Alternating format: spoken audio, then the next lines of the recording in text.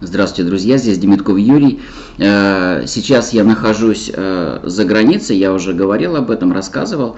И сейчас мы в Турции. Мы пересекли грузинско-турецкую границу вчера и столкнулись с неожиданными трудностями. Э, дело в том, что я путешествую на машине, которая принадлежит моей фирме. Я уже на ней ездил в Финляндию.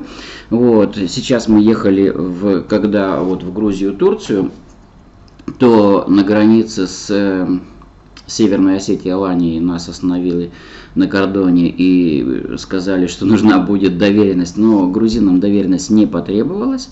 Вот, мы спокойно проследовали до Батуми. И в Батуми вчера, значит, при переходе границу турки, э, ну, во-первых, э, грузины выпустили моментально, там граница была совсем никакая. Вот. А на турецкой границе, на турецкой вот э, посту э, очень долго и муторно турки, э, турки проводили контроль.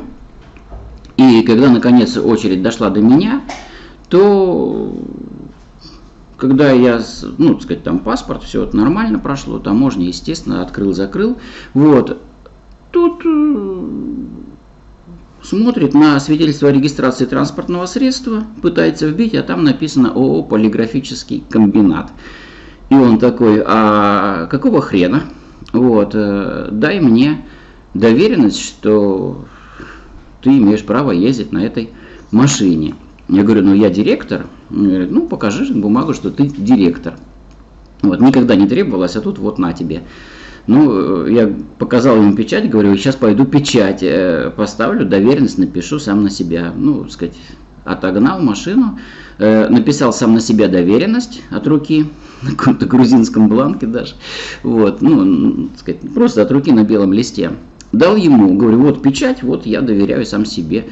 Вот. Он говорит, нет, такая не устроит, нужна напечатана на принтере. Но, к счастью, у меня есть жена, которая может обо всем позаботиться.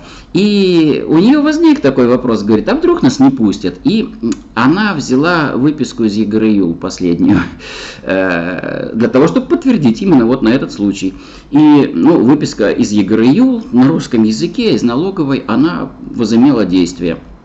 Я э, нашел эту выписку из ЕГРЮЛ, э, показал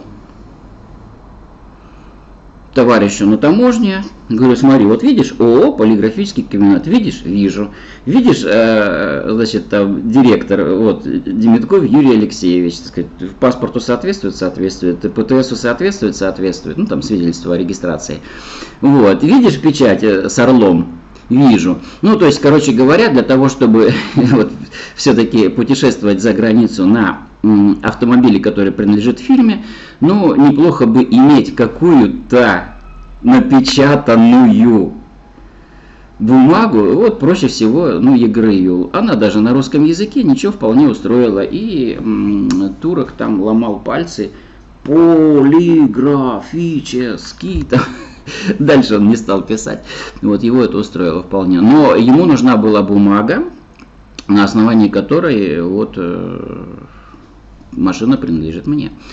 Вот, собственно говоря, вот э, такое замечание для тех, кто хочет ехать на машине, которая, ну, которая принадлежит компании. В принципе, других проблем не было. Ну, со мной рядом еще, так сказать, там высадили парня тоже, который ехал на машине, которая принадлежит жене, но жена была тут же, и, соответственно, он просто предъявил жену с паспортом, и все.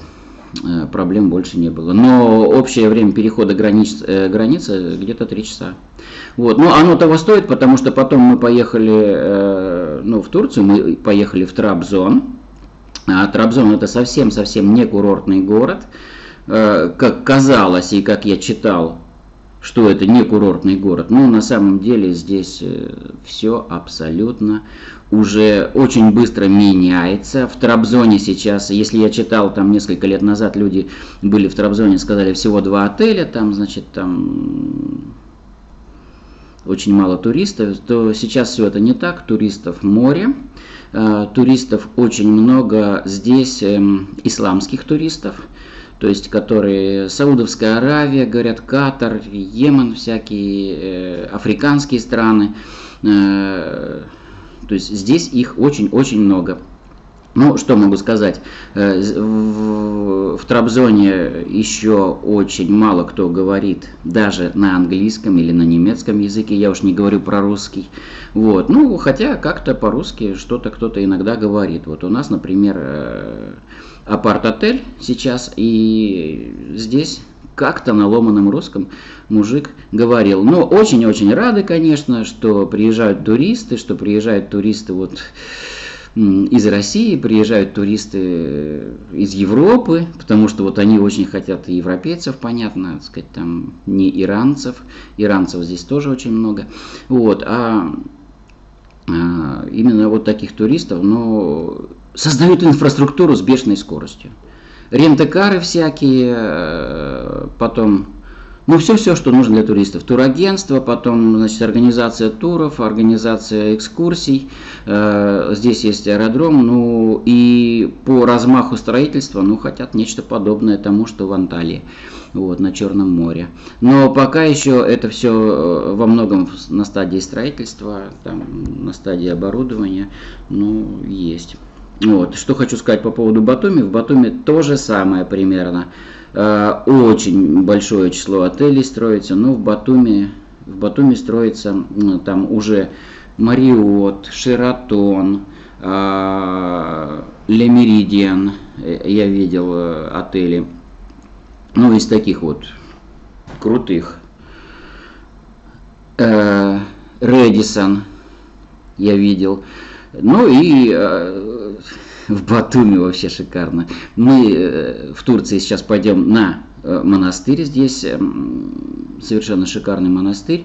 Ну и, конечно, Турция для чего нужна? Для того, чтобы закупаться в магазинах, потому что сейчас все здесь страшно дешево. Вы знаете, что недавно рубль упал, но турецкая лира упала намного сильнее. Цены, ну, в два с лишним раза ниже, чем у нас друзья мои. Вот, вот ради этого стоит, мы просто заезжаем, закупаем здесь там э, всю одежду для себя. Обувь здесь хреновая, честно говоря.